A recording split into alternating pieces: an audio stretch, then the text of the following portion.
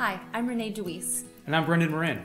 We're married with a couple of kids. We work really well together, and we have a family business. We have deep connections in the community, from running a successful children's theater academy to hosting a local TV show. What sets us apart is that we're a lot like our clients, in that we live here, we're raising our family here, and we know what makes this area a great place to live. We're very tech savvy, but we don't let that get in the way of the personal touch. And we're a little different in that we're an independent family brokerage, not just a big company. So our clients are treated like real people.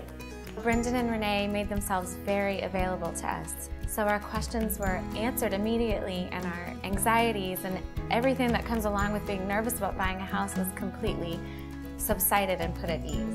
They were super easy to work with, they were incredibly available to us, and they knew exactly what we were looking for. And they found it.